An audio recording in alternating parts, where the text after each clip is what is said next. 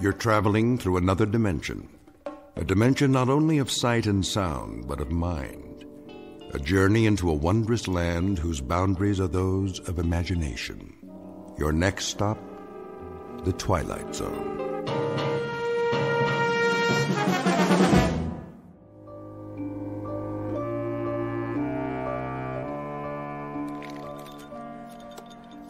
One old-fashioned, one Scotch rocks, a whiskey sour, and a B&B.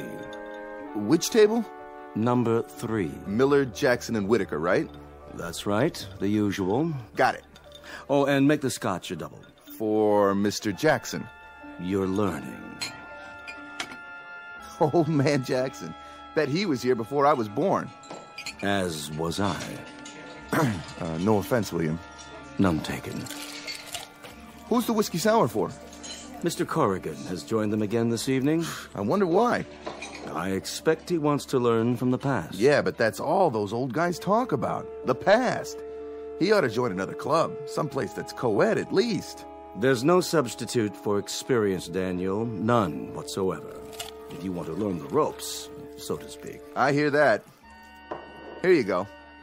Shall I run a tab? Table three always runs a tab. Gotcha. Bring me another bourbon, will you please, William? Certainly, sir. Oh, and some peanuts to go with that. Yes, sir.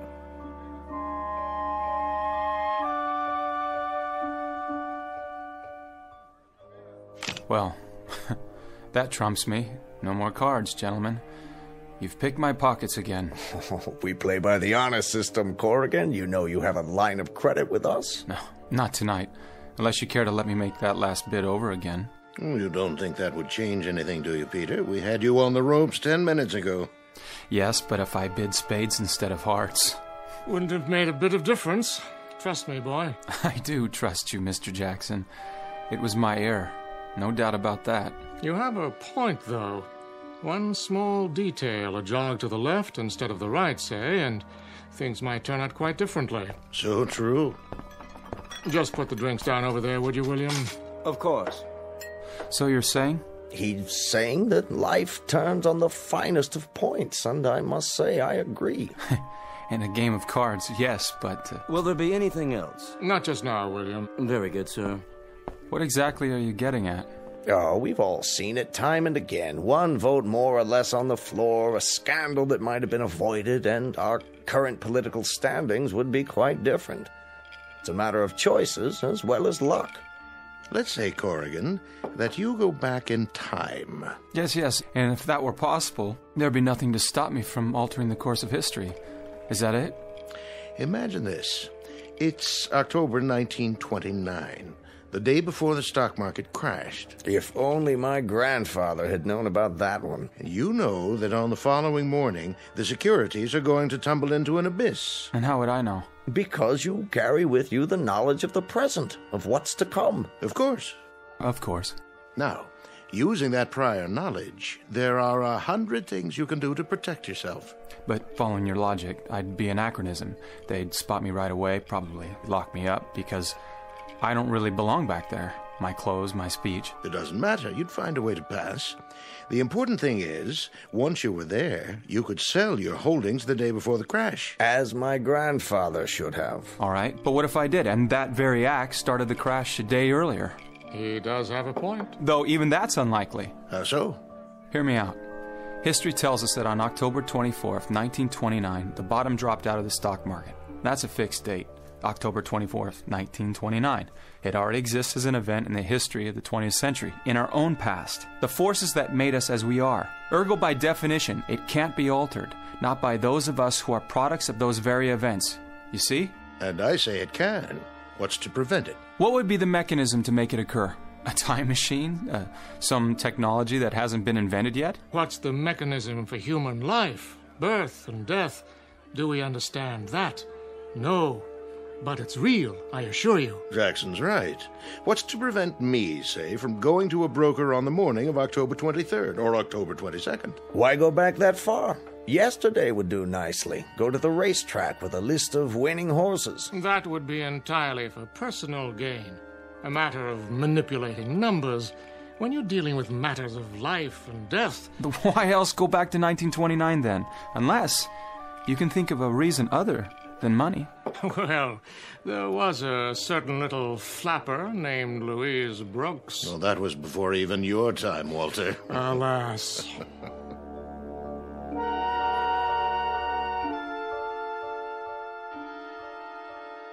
Witness a theoretical argument at the very private Potomac Club in Washington, D.C.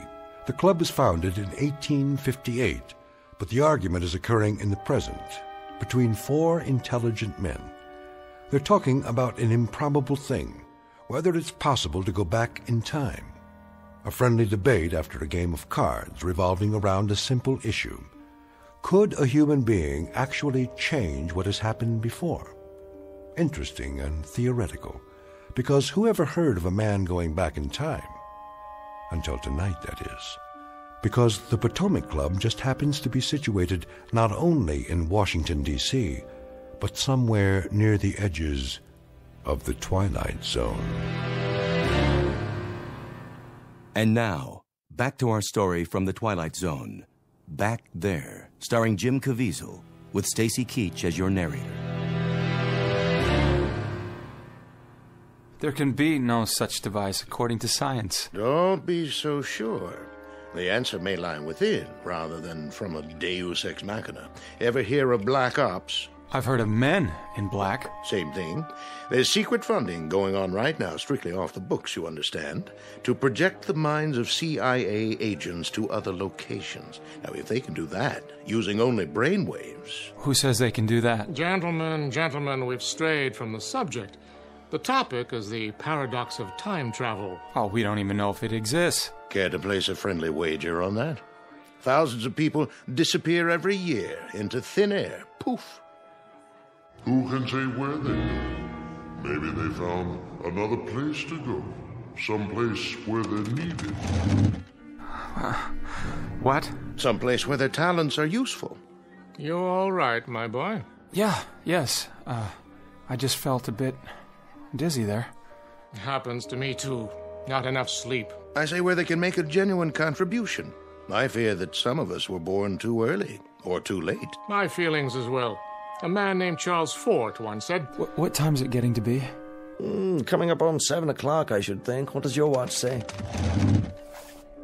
Closer to eight, actually. Gentlemen, uh, I'm afraid I'll have to leave the subject of time travel to you and H.G. Wells. I'm much too tired to get any more metaphysical than that. And since nobody has ever gone back in time, Care to place a friendly wager? then the whole blame thing is much too theoretical, as far as I'm concerned. See you over the weekend? If you don't get lost back there, Peter. Where? Why, in time, of course. I'll try not to. Good evening, everybody. Leaving Mr. Corrigan. That's right, William. Good night. Oh, I'm desperately sorry, sir. I've spilled coffee on your sleeve. Um, no harm, William. No harm at all. Oh, that was clumsy of me. I think I shall survive. I really do. Uh, let me wipe your jacket. No need, honestly. I'll see you tomorrow. Uh, did you have a coat with you, sir? No, I'm rushing the season a little tonight, William. I felt spring in the air. Came out like this. Well, April is spring, sir. It's getting there. What is the date?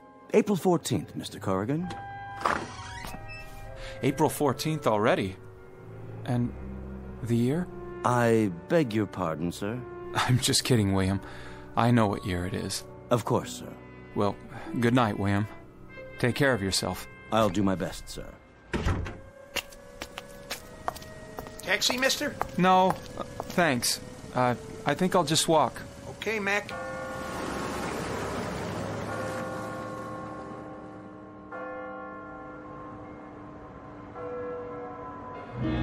What? What is wrong with me? My head?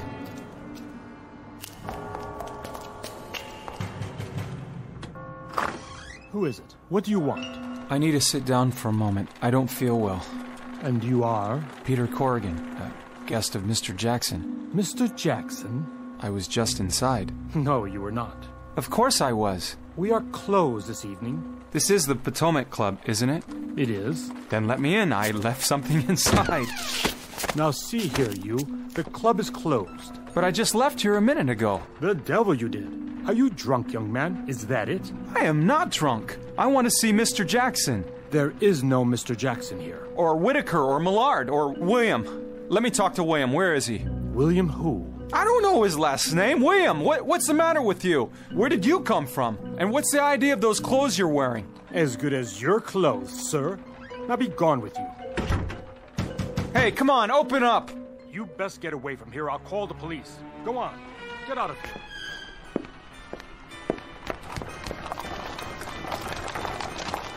Carriage, sir. Carriage? Since when are there carriages in Washington? Why, since always, sir. May I take you somewhere? Get away from me. I'll go home. That's it. And sleep it off. I'll go home.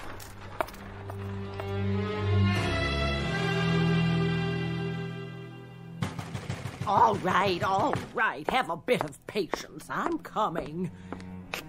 Yes? Sorry, my key didn't work. Your key? Oh no. Who are you, may I ask? Mrs. Landers, the landlady. You're the landlady? And you, sir? Is this 19 West 12th Street? That's right. Whom did you wish to see? To see? Which one of our guests, young man? I used to live here. It's the oldest building in this section of town. I was just wondering if. How's that? What I mean is, as I remember it, it was the oldest. Well, now, really, I can't spend the whole evening standing here talking about silly things like which is the oldest building. If there's nothing else. Then, do you have a room? Uh, I have. For acceptable boarders. Do you come from around here? Yes. Uh, yes, I, I do. Army veteran? Yes. Uh, as a matter of fact, I am. Well, come in. I'll show you what I have. Your coat. What? Your long coat and your hat. You may leave them by the door. Of course, I'm. I'm not used to it. Used to what? The hat. I don't wear a hat very often. May I inquire as to your business? I'm an engineer. Really? A professional man? Hmm. Well, come upstairs and I'll show you the room. Not the one on the second floor by any chance at the end of the hall? Why, yes. How would you know that? Well, I've heard good reports about your establishment. I'm planning to repaint it soon. Oh, don't do that. I beg your pardon? Well, I mean, I'd like to see it in its original colors before it was remodeled, before it is remodeled. Well, I suppose it will do for a while longer. I'm sure it's fine.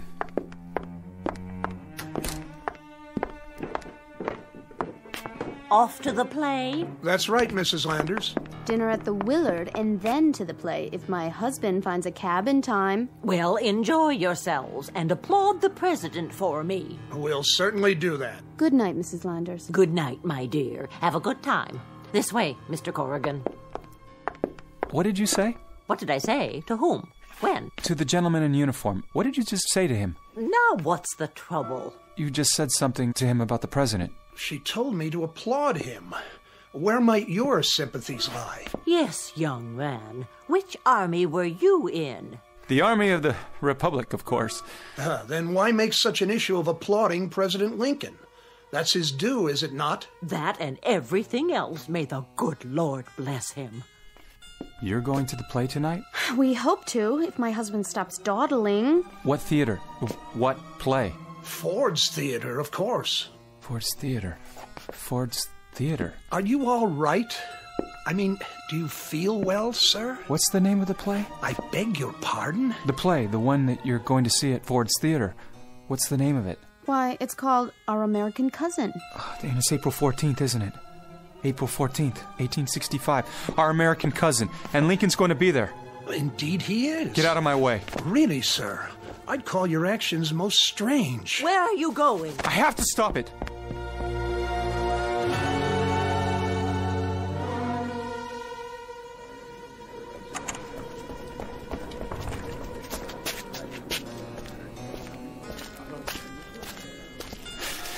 Is this Ford's Theater?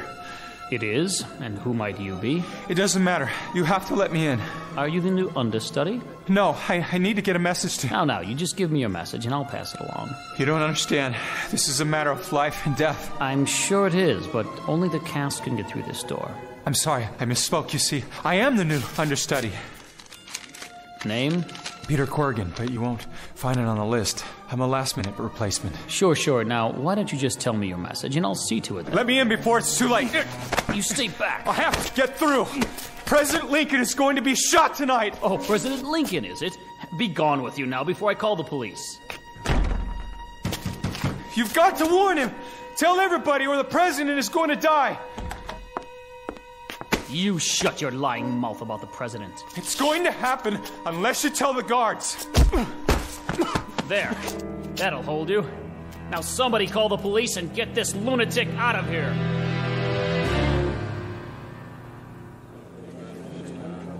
Next.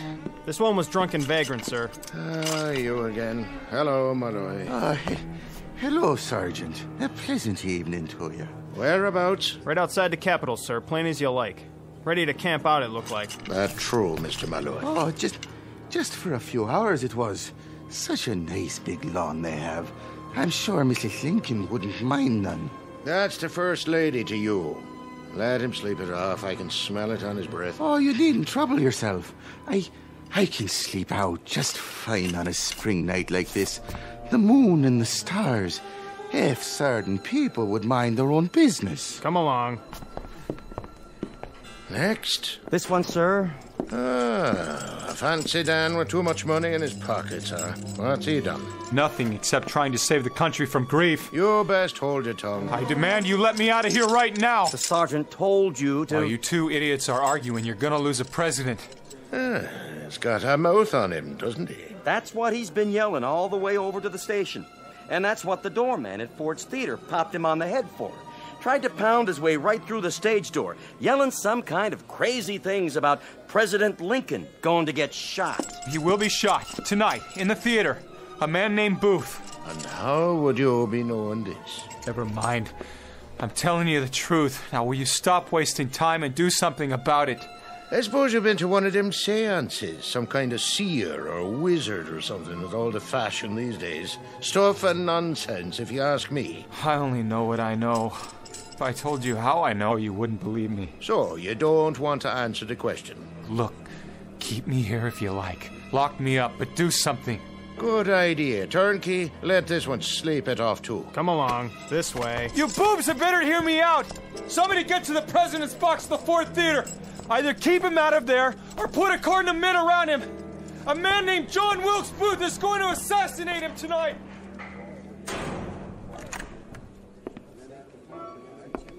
Evening, sir. Can I help you? My card. The name is Wellington, Sergeant.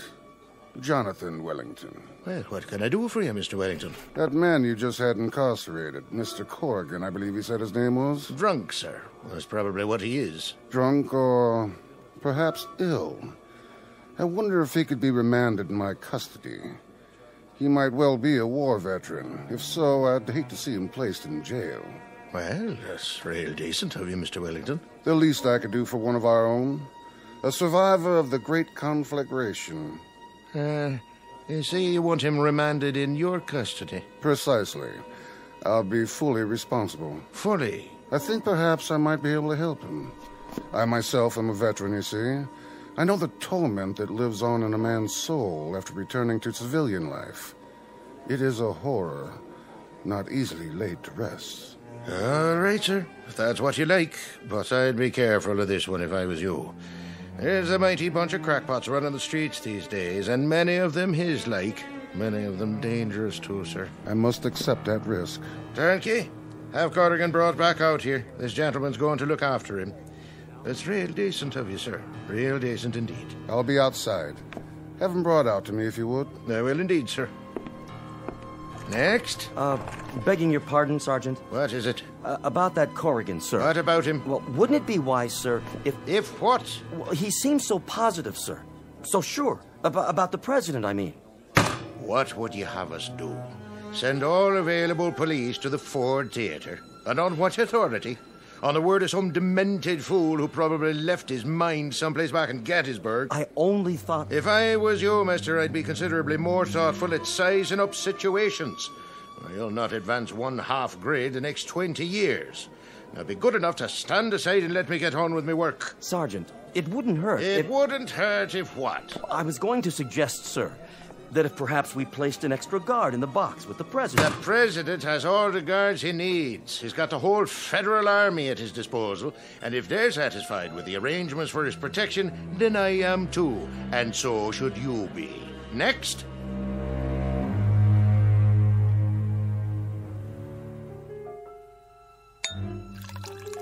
Take this glass of wine. It'll help you relax. Thank you. Feel better? One question. Yes. Who are you? At the moment, I'm your benefactor, and apparently your only friend. Turkish cigarette? I don't smoke. Why did you take me out of the police station?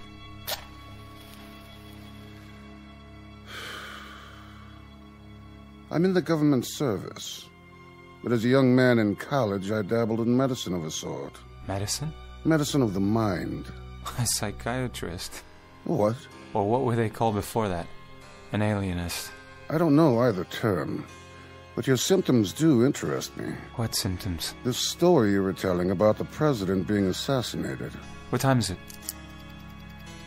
A quarter to eight. The play won't start for another 45 minutes.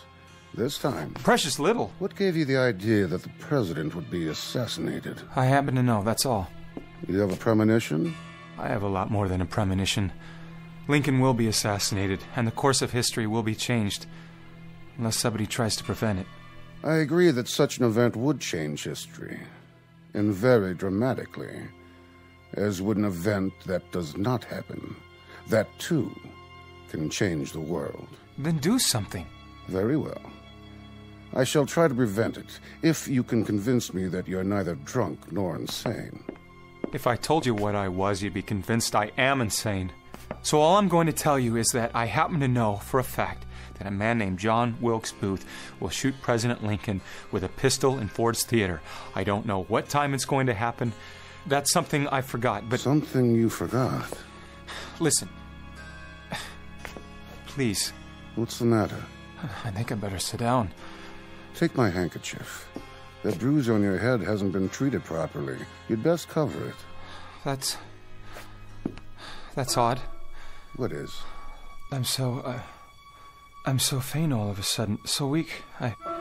It's almost as if I were. As if you were what? As if I suddenly got drunk, right?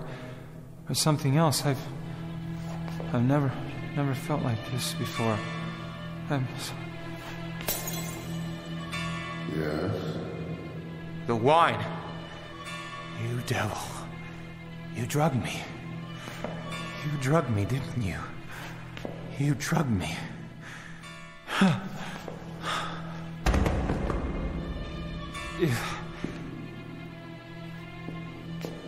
I was forced to, my young friend.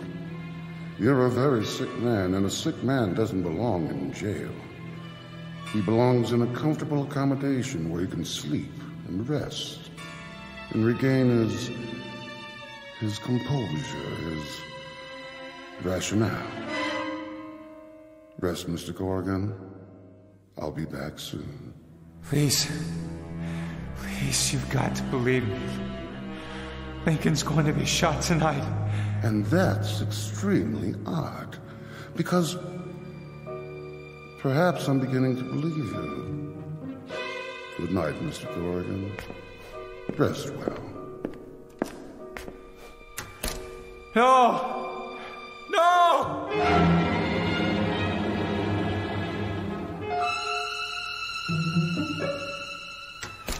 Please. Please. Let me out of this room. It's true. All of it. I know that the President of the United States is going to be assassinated tonight.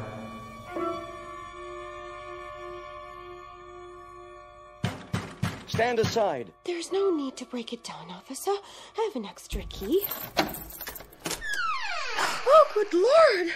Are you all right, sir? What's happened here? What time is it?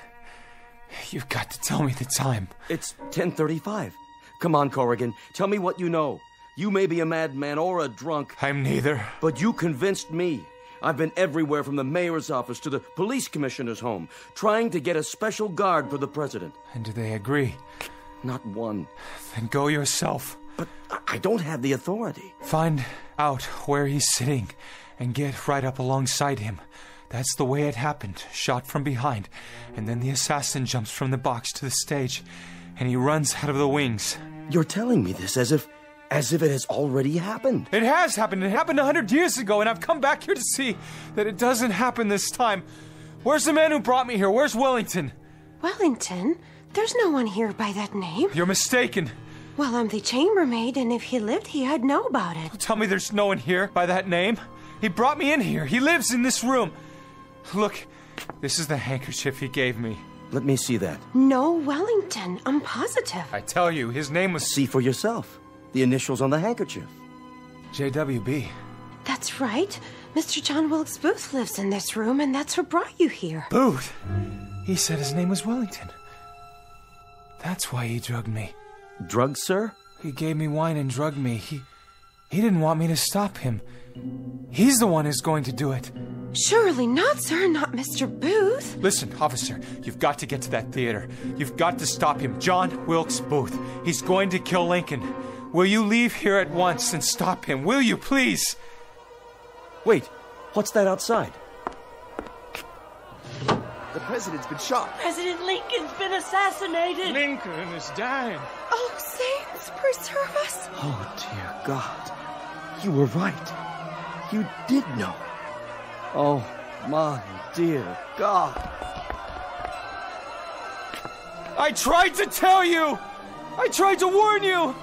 And one most important thing I've ever tried to do in my life. God, I failed. I failed. Why didn't anybody listen? Why? Why didn't anyone listen to me?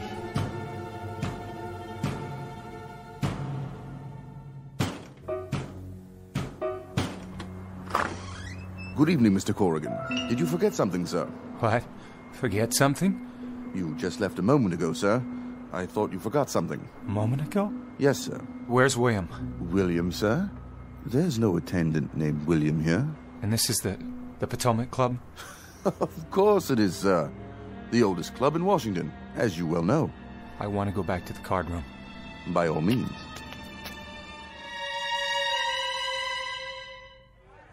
Well, invest in new technology all you like, but I stand by a traditional portfolio. Nonsense. The digital revolution has rendered the old methods obsolete. As am I, gentlemen, and yet I keep on ticking. Diversifying is the key. Muni bonds, long term certificates, real estate holdings.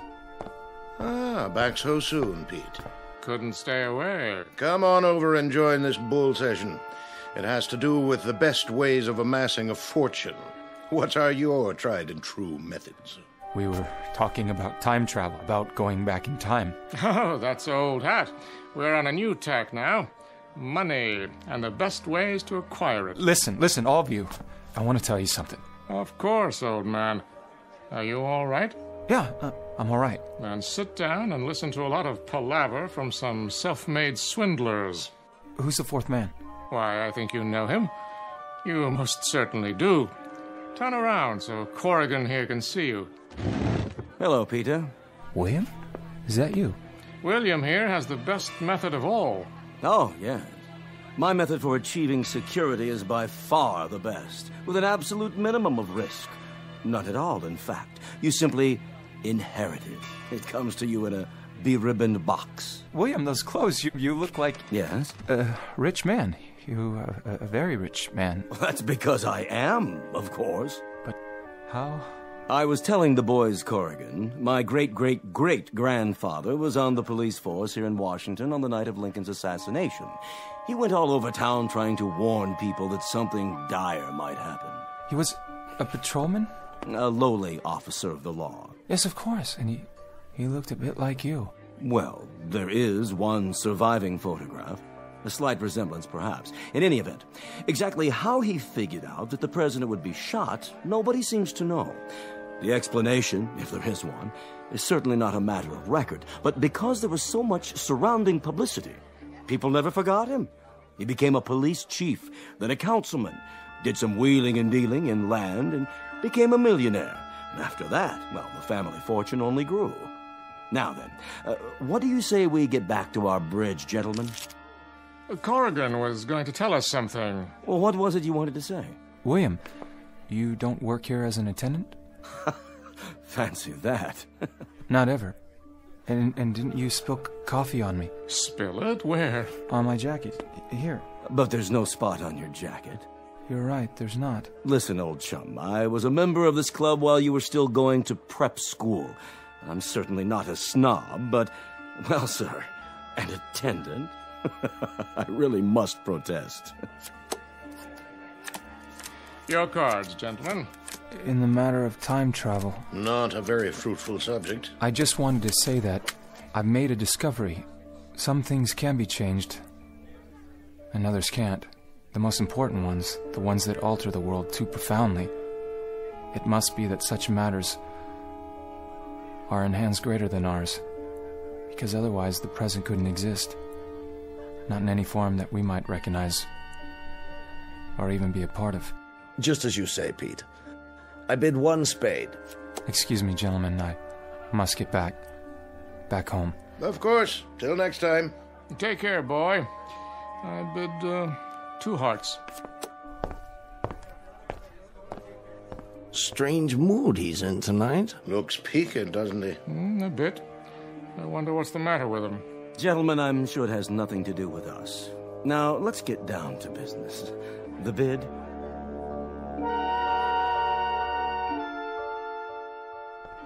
Good night, Mr. Corrigan. Wait. Yes, sir? How long have you worked here?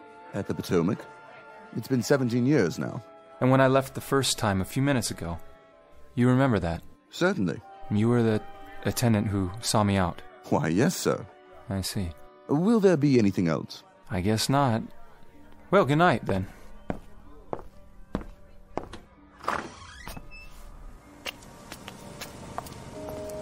Need a cab, mister?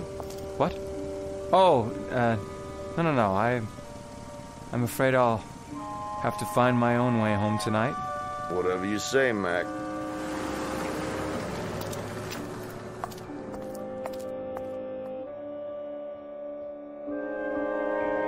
Mr. Peter Corrigan lately returned from a place known only as Back There, a journey into time with highly questionable results, proving on the one hand that the threads of history are woven tightly and that the skein of events cannot be undone, and on the other hand, that there may be small fragments of the tapestry that can be altered, however unpredictable the final result.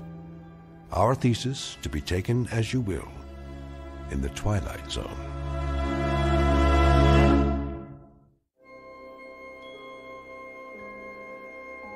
Hi, this is Carl Amari, producer of the Twilight Zone radio dramas. I'd like to take a moment to tell you about our official website at twilightzoneradio.com where you'll get the latest news and information on these Twilight Zone radio dramas. Plus, at twilightzoneradio.com, you can digitally download three free episodes or any of our episodes for only $1.95 each. In this age of ever changing technology, we've decided to make these episodes instantly available to you by making the Twilight Zone radio dramas a digital download only series. This means that this series will no longer be offered on CD. The CD collections at our website are now being offered while supplies last at buy one, get one free. So be sure to get your favorites before they're sold out. Be sure to visit us often, and I'll see you in the zone.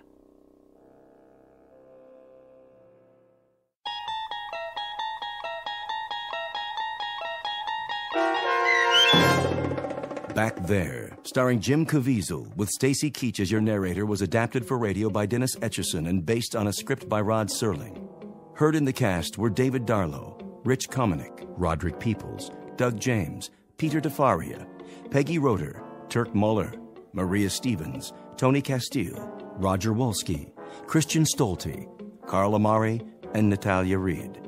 To learn more about the Twilight Zone radio dramas and to obtain audio cassettes and CDs of these programs, visit our website at twilightzoneradio.com. This copyrighted radio series is produced and directed by Carl Amari and Roger Wolski for Falcon Picture Group. Doug James speaking.